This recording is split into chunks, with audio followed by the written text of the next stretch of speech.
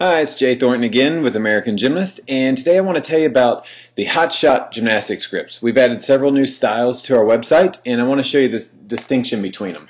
The easiest way to find them is to go up here to the search field and just type in Hot Shot.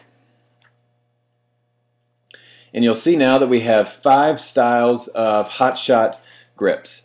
Uh, originally, we only offered two, and those were the one you see here in the middle, the Hot Shot single buckle. It had a padded wrist cuff, uh, and the Hot Shot Velcro, um, also with a padded wrist cuff. And these grips are our best-selling narrow style of gymnastics grip. Um, however, they're only designed for gymnasts that are under 70 pounds and or under level 7 in ability.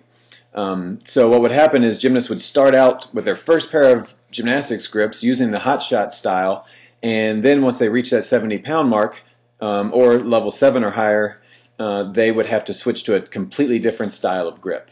So now we have a brand new hot shot style grip with a leather cuff. Um, it has a more durable leather and the leather cuff making it uh, suitable for gymnasts that are now over that 70 pound mark and or over a, uh, a, level 7 or higher in ability. And we've also added another style closure, the double buckle here.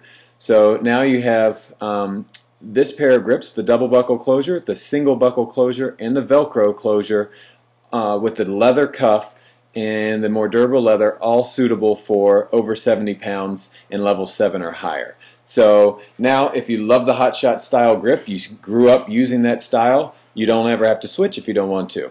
So we think it's a, a great addition to the site. We're proud to offer it here on American Gymnast, and we know you'll love it too.